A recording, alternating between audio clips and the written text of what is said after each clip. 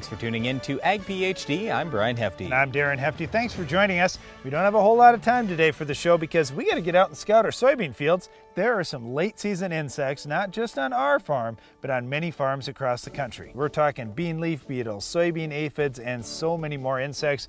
What will it take to stop them? That will be our discussion today. All right, well, here's one of the other things that I want to talk about today, and that is as you cross a lot of your fields or look at a lot of your fields, late in the year, you notice some lighter spots. So you didn't have perfect rain, you don't have the best topsoil there. So let's talk today about how do we build new topsoil? How can we make that high ground, some of those eroded spots, just as good as some of the low ground? We really want to get into that because there are absolutely things you can do in your lifetime, not in eight generations, to build new topsoil. Well, one other thing you want to do to fix up your fields is control our weed of the week. This one is devastating if you let it go. We'll show you how to stop it on your farm. But first, here's our farm basics.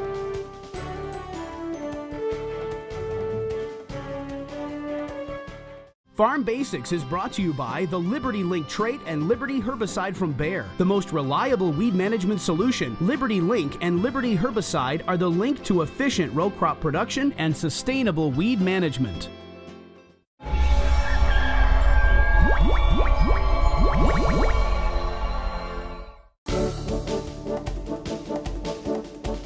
During our Farm Basics time today, we're going to talk about a commonly asked question we get from non-farmers, and that is, what's the difference between banding and broadcasting fertilizer? We hear you guys talking about this stuff, but why would a person want to band, and what is banding compared to broadcasting? Well, there are a lot of terms that get used in farming, and these two terms are used primarily around fertilizer, but also on uh, some other things like herbicide or weed control. Or insecticide. So, yeah, so when we're talking about, uh, let's just talk about the fertilizer side first. This is plant food that we're putting out there for plants.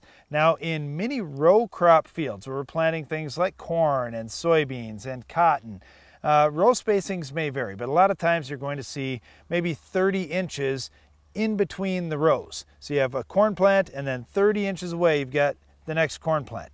So when you say broadcasting, that means spreading the same amount of plant food on every square inch of the whole field. When you're looking at banding, that means just placing it in a certain spot.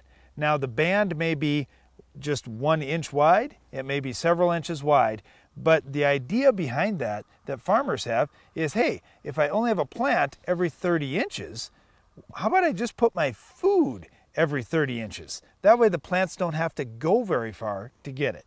Well, what I look at is insecticide. Most of the insecticide that's put out at planting time by corn farmers in the United States, it's not broadcast.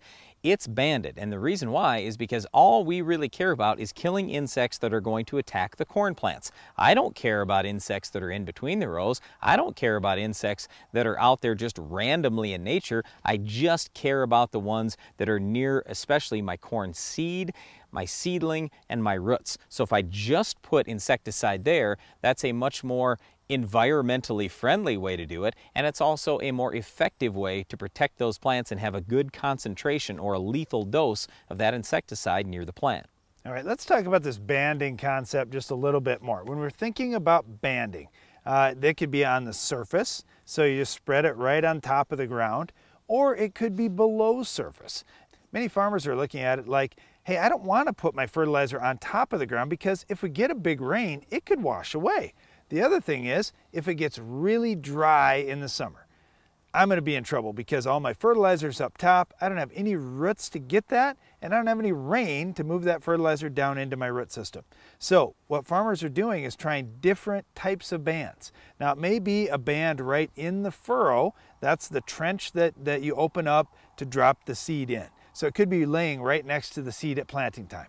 Or uh, it could be a couple inches over and a couple inches down below the seed. That way you've got a little bit of soil in between the plant food and the seed. And when plants are really young and that root system is very small, having a huge concentration of plant food around it can be a little bit hot for the plant. So having a little bit of distance there can be a good thing. Or uh, one thing that we're doing on our farm is we're actually deep banding. So we're dropping our plant food down six or eight inches deep in the soil and then planting right over the top of it.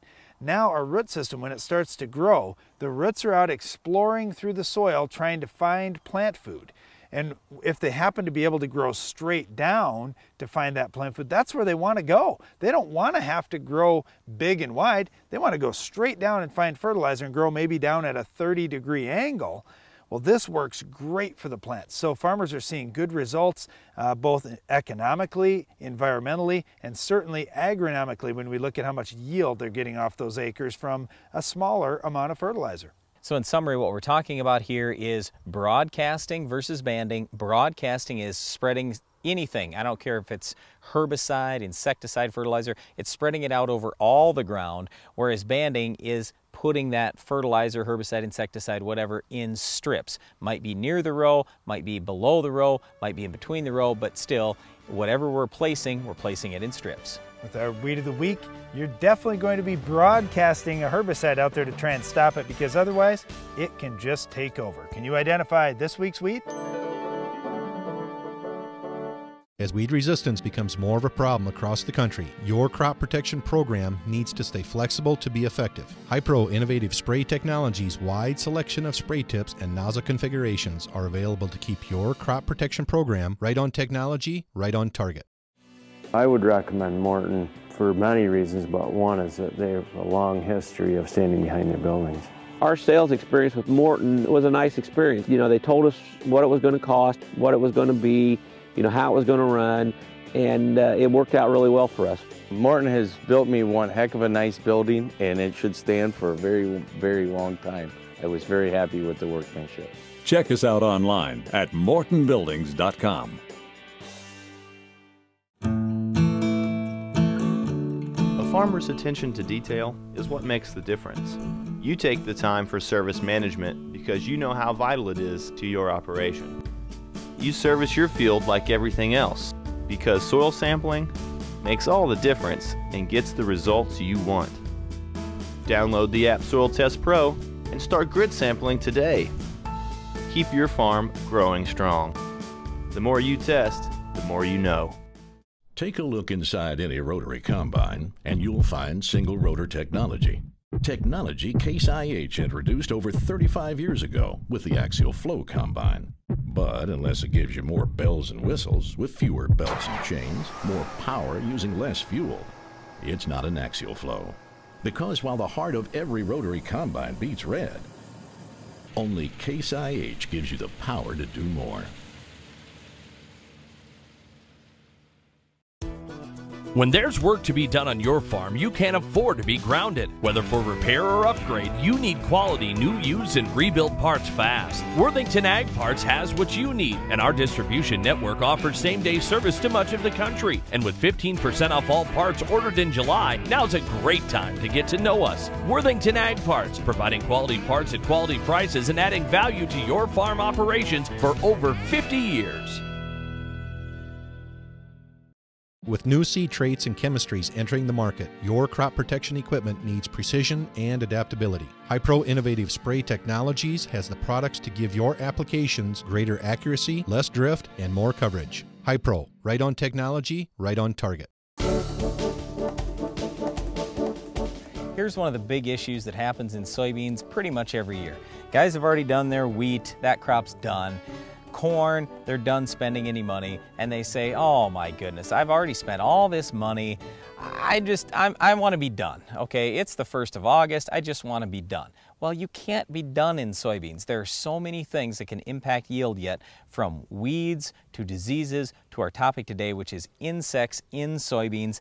And I mean, there are a whole host of insects that could still affect your soybean crop very adversely, whether it's bean leaf beetles, Japanese beetles, soybean aphids, you name it, grasshoppers. I mean, there are a whole bunch of them. We want to talk a little about late season insect control in soybeans today.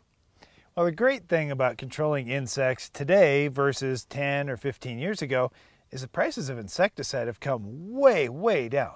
And as a lot of these products have gone off patent, there are a lot of generic options, uh, and that's helped keep the cost down, keep supplies in pretty good shape. So you have lots of choices and they don't cost much money. So when we're looking at the bugs, the big thing to do is to identify which species are out in your field. And very likely, it's not going to be just one. It's not going to be just bean leaf beetles in your field. Chances are you're going to have some bean leaf beetles, some grasshoppers, some soybean aphids, who knows what else. But find out what is exactly out there. A sweep net is an essential tool really for any farm operation to be able to walk through, do some sweeping through your soybeans, and just seeing what is out there to begin with. Okay, when you are sweeping through the soybeans, you can look at different economic thresholds, and we have some of this information as well on the Ag PhD Field Guide app that you could download for your smartphone or your tablet. But the whole thing is you've got to look at realistic economic thresholds. So, for example, there are some bugs where the threshold hasn't changed in 15 years for spraying. I mean, come on. The soybean price is way higher, yields are way higher, and insecticide is practically free. So the economics have changed dramatically. I'm just trying to say be realistic with your economic thresholds. And if you're looking at data from 10 or 15 years ago or thresholds from 10 or 15 years ago, um, those are wrong. So you've got to look at your information, your farm, your data, your economic threshold, and pull the trigger appropriately. But all I know is when we're out there spraying a herbicide, fungicide, foliar fertilizer, something else, and all I have to do is throw in an insecticide and it only costs me two extra dollars, my threshold number can be awfully low. All right, let's talk about resistance management just a little bit from the standpoint of using multiple modes of action. The pyrethroids get used a lot out there. Uh, they're cheap, they're safe, uh, they're nice products to work with. They, they can tank mix with just about anything else. Uh, and we kind of forget about something like Lorsban, for example. And, and you say, well, I don't know why, why I would use that when I've got all these cheap pyrethroids I can use. Lorsban costs just a little bit more, but it offers a couple different advantages. It gives a quicker knockdown on things like soybean aphids, and it also helps on some of the tough to kill bugs uh, like grasshoppers, for example, when they get hardened off and, and become adults. Oh, I don't know though, Darren. I'm going to disagree with you on that. With Lorsban, I don't think it's that good a grasshopper product. The old Furadan was a great grasshopper product. So was Parathion. We don't have either of those products well, today. Thank goodness. So you want to try to get the grasshoppers a little bit on the earlier side. Once they get wings and become adults, then it's going to be much more difficult. But basically, you've got three choices here as we talk about late season insects. You've got the cheap pyrethroids, and they're great except for spider mites. If you've got spider mites, then you want to go with Capture, which is still a pyrethroid, but a different kind, bifenthrin, uh, and then Lorsban. Now, in some areas of the country, if you have spider mites, you might have resistance with the pyrethroids, with organophosphates. You might have to go to something else. But in most of the Midwest, well, mites, mites that's really, really, all we're talking mites about. Mites aren't really insects. So, I mean, it's, it's True. kind of fortunate that we could control them with those products so, and, and, still can in some So areas. here's one of the big questions that comes up. I'm going to kill my beneficials if I spray at a relatively low number of insects.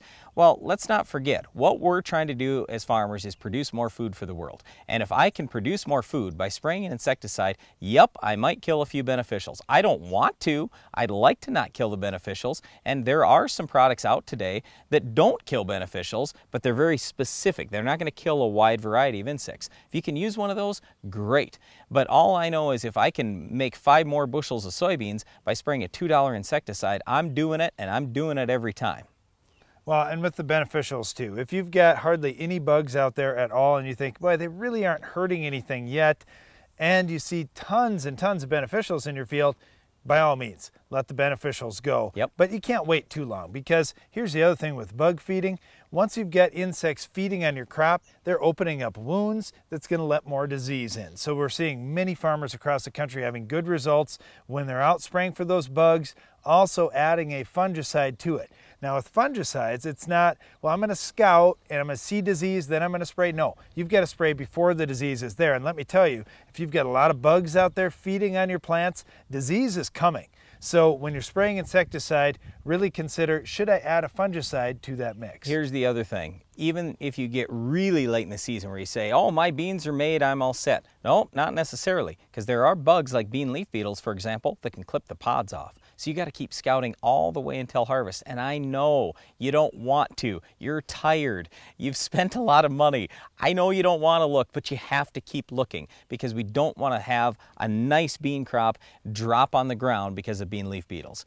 If you end up in that situation where you have to spray very late in the season, just look at the pre-harvest intervals for every different insecticide you might consider using. Some of them are as little as seven days. That's what you're looking for if you have to spray super late in the season. Well, there's certainly lots of different insects that can attack your soybean crop.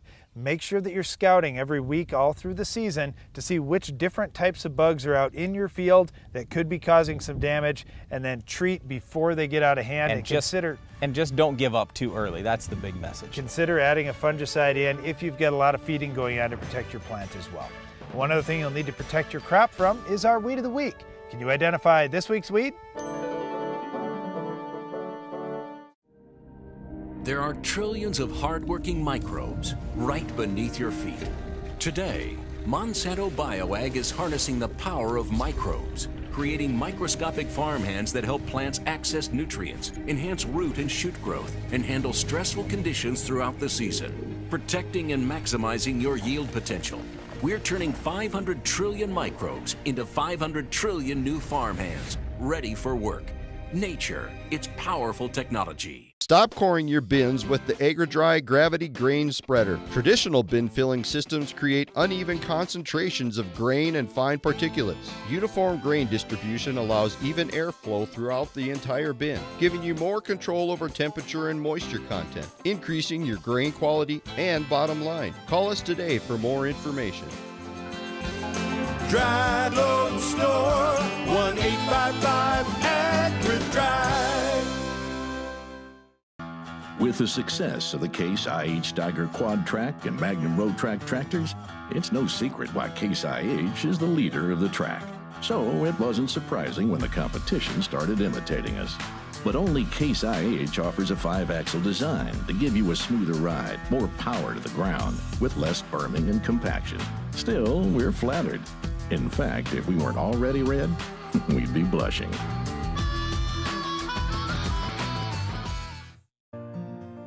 We have a school and a church nearby. I actually go to the classroom to educate the students about what's going on here on my farm. The system that I have, I tie everything together.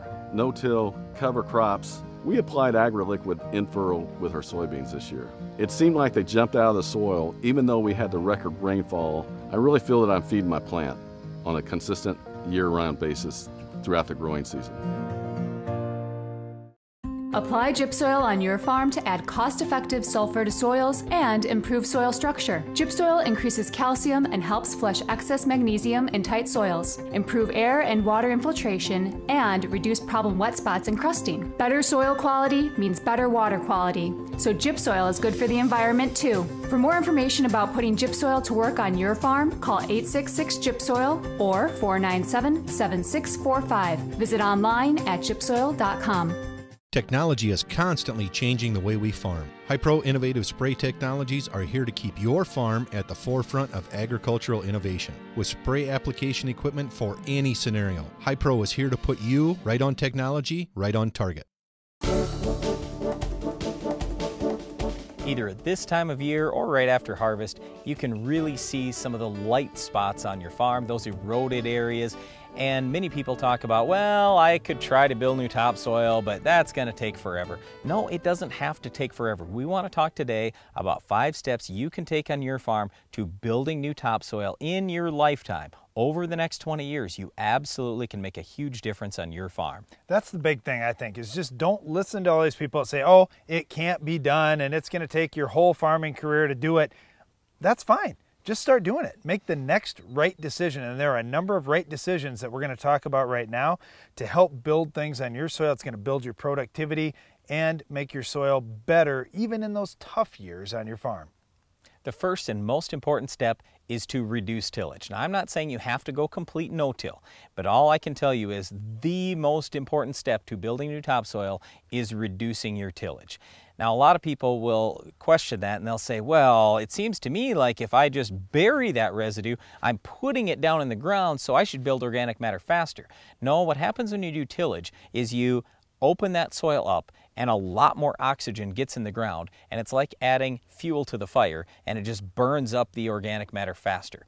So there's a big reason why in the United States we've seen organic matter levels decrease in the last 100 years It's all because of tillage. If tillage is reduced, we're not losing our organic matter. And the big thing now is if you want to build new topsoil, you need to build organic matter. Well, and it doesn't have to be uh, one extreme or the other, no-till or conventional till. Something like strip till we utilize a lot on our farm, and what our goal is is to leave the root mass of the last crop intact. So let's just say we're coming out of corn and we're planting soybeans. If we can leave that root ball intact on the corn and untouched, now we'll go in between those rows and plant our soybeans. You give it that much more time to start breaking down naturally in the soil without, as Brian said, introducing all that fuel to the fire. All right, step one was reduce tillage. Step two is plant crops with lots of residue and lots of root mass. So we're talking about corn instead of soybeans, for example. Corn on average has five times the root mass of soybeans. Now this does not mean that you can't ever plant soybeans, but all we're trying to say is if you want to build organic matter and you want to build new topsoil faster, planting corn instead of soybeans would probably be a good option. I like using manure or compost whenever that's possible. Those are great fertilizer sources, but they're also sources of organic material to put out into your soil that can eventually become organic matter. The other thing that enters into this equation is cover crops. They've really grown in popularity a lot in the last few years. The reason why, in part, is because they help hold soil in place, build organic matter, and you can absolutely build new topsoil. Have something growing on your ground as many months of the year as possible. And the last of our five steps is utilize biological products. Now, I'm not going to tell you that the biological products are just going to change the entire world and wow, now I can do full scale tillage because I'm using these but they do make a difference, especially the ones that can influence root growth. And there are a number of biologicals on the market today that have been proven to increase the number of root hairs and the amount of volume of soil that those roots will explore. So when you get products that can make more roots, that's going to make a better situation for you to build organic matter in your soils. We just want to make sure that you don't ever think, oh, I can't do anything about those eroded hilltops or anything like that. No, you absolutely can build new topsoil. You've got to reduce tillage, use crops that have lots of roots and lots of residue, use some manure and compost whenever possible, then cover crops and biologicals. Well, please don't consider our Weed of the Week a cover crop. It will cover things, but it's definitely not something you want out in your ground. We'll show you how to stop it coming up next.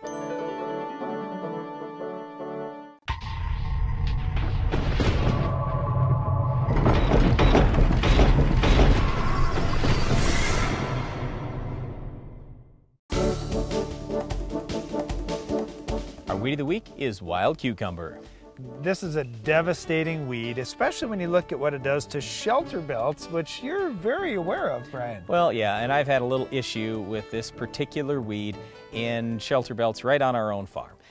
And all I know is what I do, rather than trying to spray in the middle of the summer, is literally go out and pull them out of the ground. It's the old style, old school method of simply pulling a weed there aren't a lot well, of them. Well, when, when you have this viney weed that really spreads out, it's yep. amazing how this great big vine that's covering trees up comes out of one root. And the root really isn't that big. That's what that's surprising to me. So yes, this one can get out of hand very quickly and it, it likes it, to climb. Right, too. it that's... climbs, but it, it literally can take down a shelter belt if you let it. So that's why you need to keep monitoring your shelter belts just like you do your fields. We don't really see this out in fields. If we did, I would control it pretty easily, I would think, with 2,4-D, dicamba, Roundup, although Roundup's not the greatest on the vines. I'd say the same thing with the HPPDs. They're not the greatest on the vines but fortunately we've got plenty of other products. Well, something that's going to start on the edge of shelter belts normally because it does need some sunlight. If you get a good crop canopy, you shouldn't have to fight wild cucumber in your fields. No, but if you're spraying, we would suggest spraying really early in the spring or late in the fall. You don't want to damage your trees, so that's why in-season spraying, midsummer spraying, not a real good idea. Just pull that wild cucumber out during the season.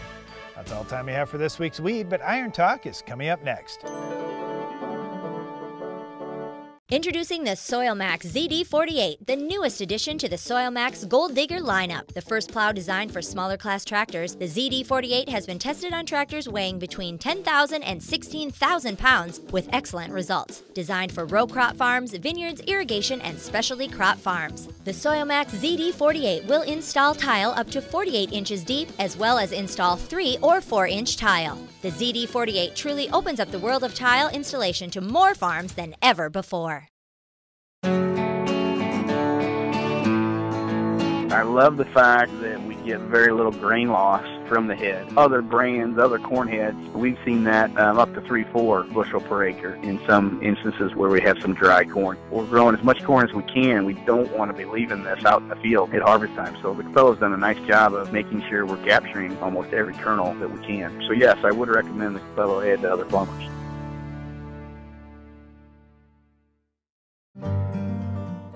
At Fisher Tradition Farms, we Veris all of our acres, and any new additional acres are automatically Veris. Veris maps allow us to know exactly where our soil types change and how much they change. We use AgriLiquid's Enhance, High Energy N, and Access that allows us to add sulfur.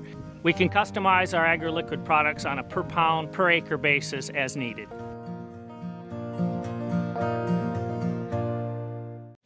I would recommend Morton for many reasons, but one is that they have a long history of standing behind their buildings. Our sales experience with Morton was a nice experience. You know, they told us what it was going to cost, what it was going to be, you know, how it was going to run, and uh, it worked out really well for us. Morton has built me one heck of a nice building, and it should stand for a very, very long time. I was very happy with the workmanship. Check us out online at mortonbuildings.com. Are you looking for an easy way to apply dry powdered products to your stored grain? Do you want to use the applicator recommended by industry leaders for products like Diacon D and other dry powder products? Changing Time CT applicators successfully apply a diversity of products quickly, easily, and accurately. The innovative CT applicators are designed to give you the most accurate application of products such as talc, inoculants, fertilizers, and other dry products. For commercial use or on the farm, you need the applicator industry leaders are using. CT applicators for the changing times. Iron Talk is brought to you by Case IH.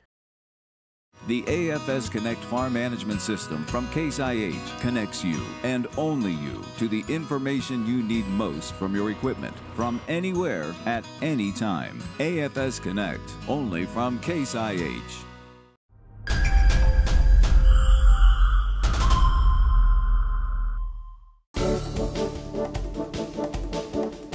When seeding cover crops, how do you get a blend of seed evenly across the field?